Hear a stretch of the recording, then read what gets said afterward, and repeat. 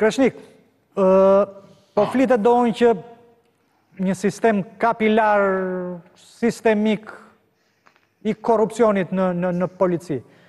Domethënë shumë... Jo vetëm polici, ha? Në shumë shtete, shumë shtete domethënë janë, e kanë nga një institucionin, nga më të besuarit. Përse kemi arritur në këtë pikë domethënë? Përse është ka rënë niveli i besueshmërisë dhe mbi të gjitha përse është korruptuar dhe nga kush?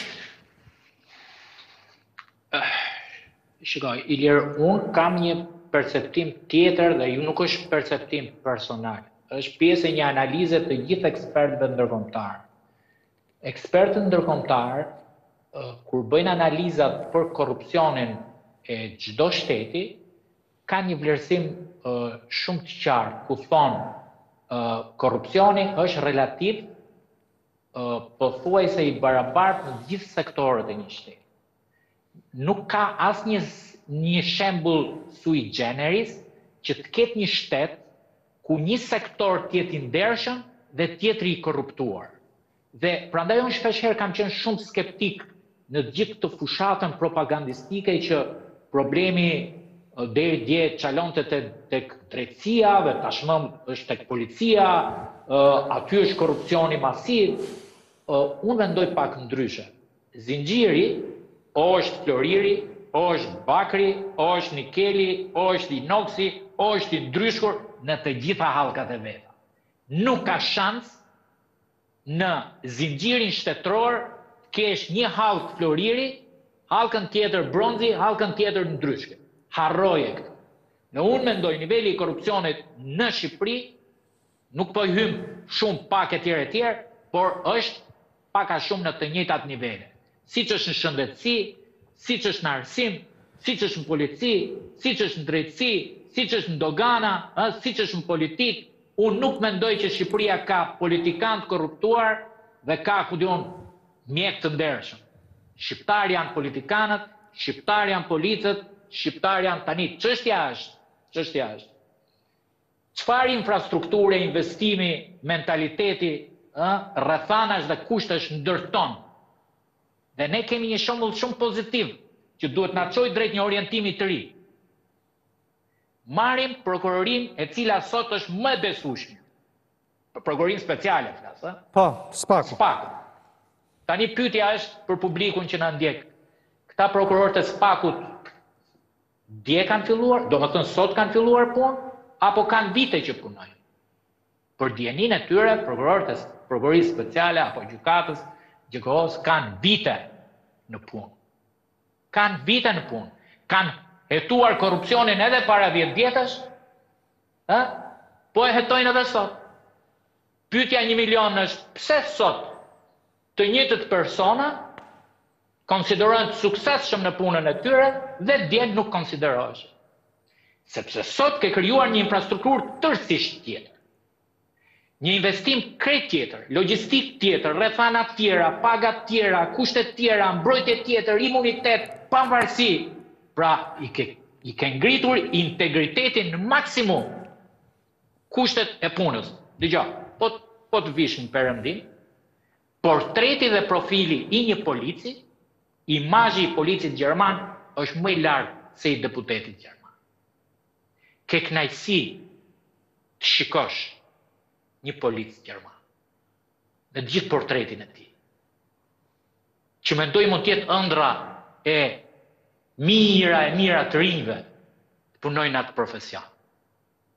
Është i pakapshëm, është si qiell, është është i paimagjinueshëm në në në imazhin dhe profilin karizmatik, popullor, i besueshëm, qytetar, të thjesht, modest, simpatik, çdo gjë e ka.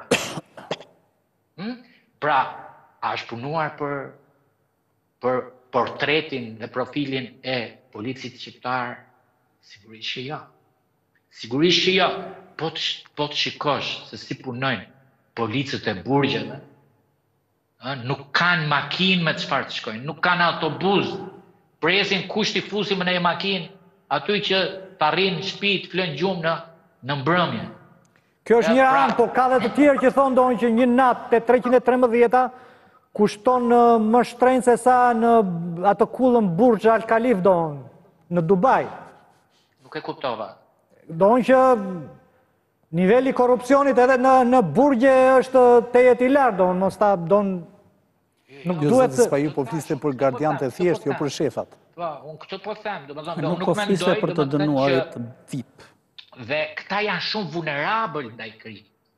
Domethënë, organizatat kriminale janë shumë të pasura, shumë të organizuara, shumë të pushtetshme, shumë të frikshme.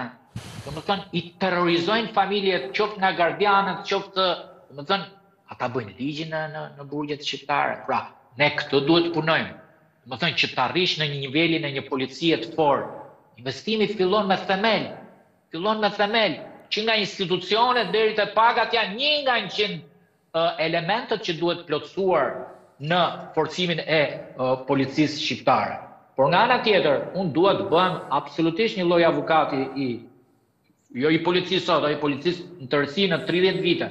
Unë mendoj që policia shqiptare nuk ka pasur kushtet ë dhe absolutisht është vulnerabël është e prekshme nga korrupsioni ashtu siç janë gjithë sektorët e tjerë ashtu siç është ai pedagogu dhe arsimtari për dyqind euro provim ashtu siç është ai mjeku ai infermieri pastruesi i spitalit që pret duart te çdo pacienti kur shkon në spital. Po përse ka bjerur domethënë pak të nga ç'kemi lexuar dhe nga ç'kemi jetuar, Kreshnik të lutem më, më dëgjo pyetjen. Nga ç'kemi lexuar dhe ç'kemi jetuar, si shpjegohet domethënë që ka bjerur kaq shumë autoriteti, imazhi i policisë, krahasuar me me periudhën e monarkisë, krahasuar pse jo edhe me me me periudhën e, e e regjimit komunist. Hiqe anën represive të, të, të, të politikës, do me, pra të merrej shumë sigurimi, por, por polici në kohën e, dhe xhandari në kohën e Ahmet Zogut dhe polici para viteve 90 domethënë ishte më...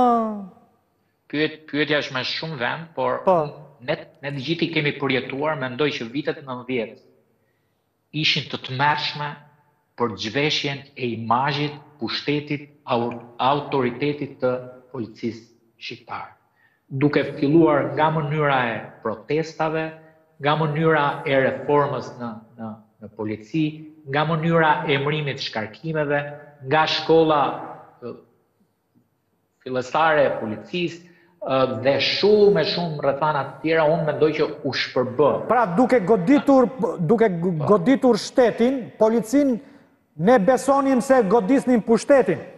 Pa, patjetër dhe mendoj që ishte, ishte e dyanshme, vetë vet politika i dha një goditje shumë të fortë, i dha një goditje fatale uh, policisë. Domethënë, u identifikua policia ë e shkuar si një pjesë shumë negative e sistemit. Domethënë, mbarti gjithë urrejtjen popullore me pa të drejtë, me pa të drejtë, se prak, praktikisht ata që qeverisën vendin dyzet vjet, ë gëzojnë sot biznese, janë shumë të fuqishëm, urrejtja popullore nuk doli te ata që nuk u shkarkua atje ku duhet të shkarkohej, u shkarkua te policët e shkretë.